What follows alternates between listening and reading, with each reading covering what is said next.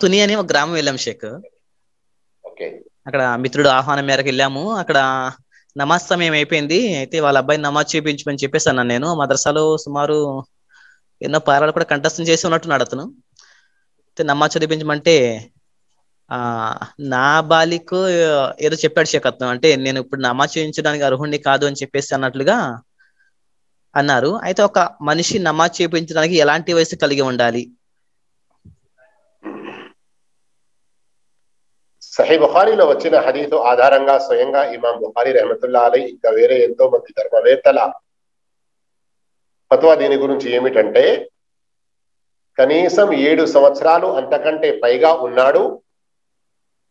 ఖురాన్ పారాయణం మంచి విధంగా వస్తుంది.